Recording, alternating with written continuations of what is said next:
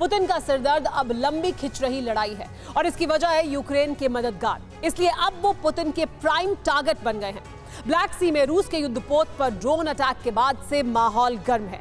रूस ने दावा किया है कि ब्रिटेन की रॉयल नेवी की मदद से ही यूक्रेन ड्रोन अटैक की हिम्मत जुटा सका। ब्रिटेन को निशाने पर लेते हुए पुतिन ने अब बेलारूस में हाइपरसोनिक मिसाइलों वाले जेट तैनात कर दिए हैं। ब्रिटेन के खिलाफ पुतिन की ये अग्रेसिव नीति अमेरिका और नाटो को डरा रही है। अमेरिका को लग रहा है कि पुतिन नाटो पर अटैक की शुरुआत ब्रिटेन से करेंगे। इसीलिए अमेरिका ने ब्रिटेन को बारूदी कवर देना शुरू कर दिया है। ब्रिटेन पर पुतिन और बाइडेन की घेरेबंदी ये बता रही है कि यूक्रेन वॉर के शोले यूरोप पहुँच चुके हैं।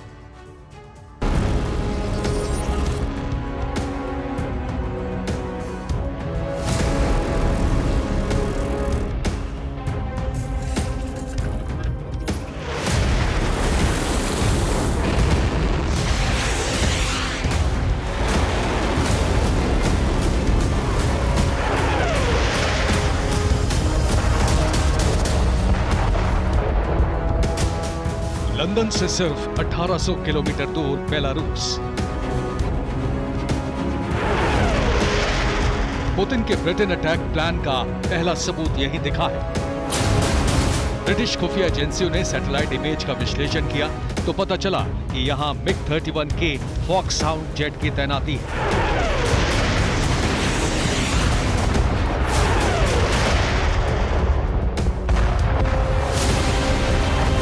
हर फाइटर हाइपोसोनिक मिसाइल से लैस है।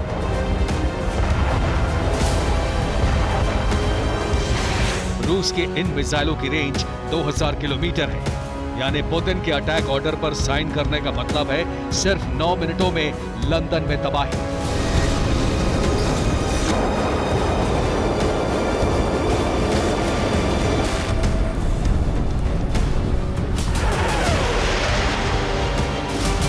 बेलारूस के एयरबेस पर मौजूद मिसाइलों को दुनिया के किसी भी एयर डिफेंस से नष्ट करना नामुमकिन है।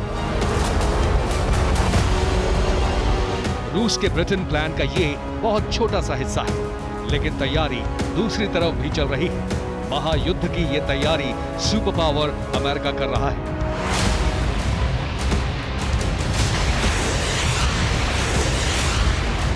अमेरिका ने अपने स्ट्राइक ग्रुप को यूरोप के लिए रवाना किया है। इस फ्लीट में सबसे आगे है। अमेरिकी विध्वंसक super carrier, USS Gerald R Ford. Aircraft carrier के पीछे चल रही है missile cruiser USS Normandy. Ballistic मिसाइलों से लैस युद्धपोत समंदर से किसी भी देश पर कहर बरपाने में सक्षम है।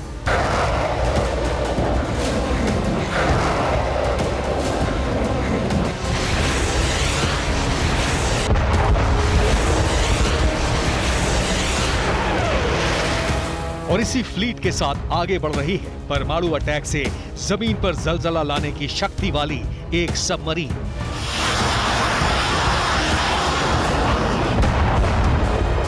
अमेरिका का जेराल्ड आर फोर्ट समंदर में एक चलता फिरता एयरबेस है। ये अपने साथ 90 फाइटर जेट्स और हेलीकॉप्टर्स लेकर चलता है।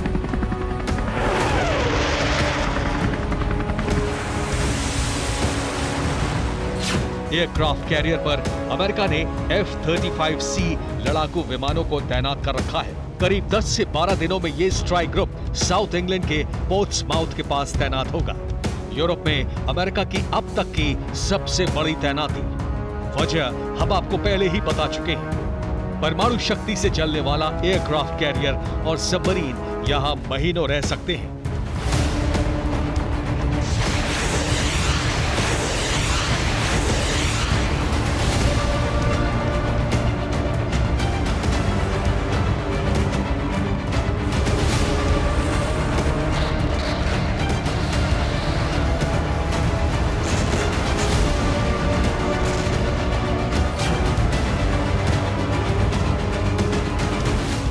रूस और ब्रिटेन के बीच तलखी बढ़ने की वजह भी आपको बताते हैं। रूस ने गुरुवार को ब्रिटिश राजदूत को तलब किया। यूक्रेन के साथ मिलकर रूस के खिलाफ साजिश पर विरोध जताया। राजदूत के सामने कुछ लोगों ने ब्रिटेन विरोधी नारे भी लगाए। राजदूत को ब्रिटेन एक आतंकवादी देश है, लिखा पोस्टर दिखाया।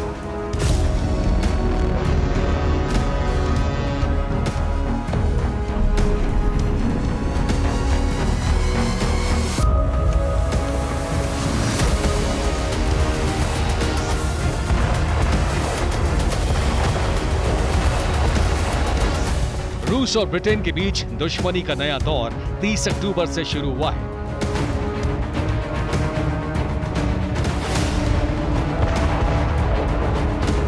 यूक्रेन ने क्रीमिया के सेवस्तोपोल हार्बर पर रूस की ब्लैक सी फ्लीट पर मरीन ड्रोन से बड़ा हमला किया था। इस हमले में रूस का एक जंगी जहाज़ और सी बैरियर को नुकसान पहुँचा था।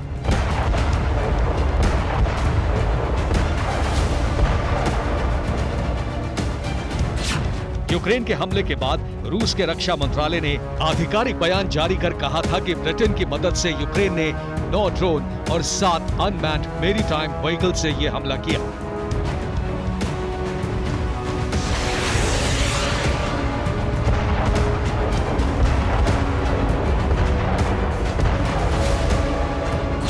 पुतिन को लग रहा है कि यूक्रेन जैसा छोटा सा देश इतने बड़े अटैक की प्लानिंग नहीं कर सकता है।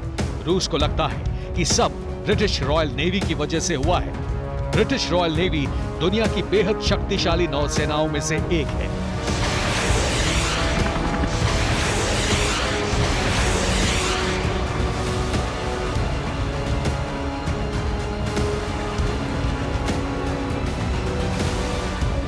रूस को लग रहा है कि ब्रिटिश रॉयल नेवी ने यूक्रेन के बहाने रूस के युद्धपोत पर अटैक किया है। रूस के आरोपों के बाद ही ब्रिटेन के आसपास अमेरिका ने अपनी नेवी की तैनाती शुरू कर दी है।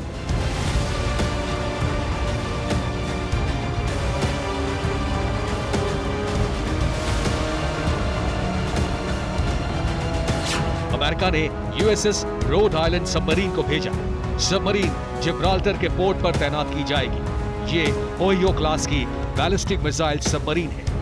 अमेरिका की सबमरीन पर ट्राइडन टू मिसाइलों की तैनाती है।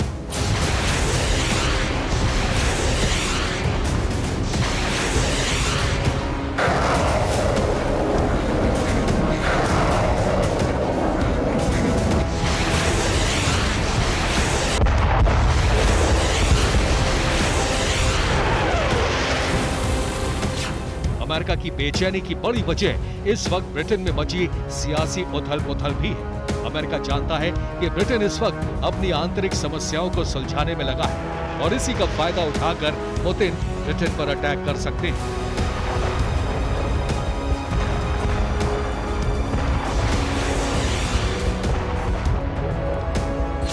पुतिन पिछले आठ महीनों से नेटो के खिलाफ एक्शन प्लान तैयार कर रहे हैं।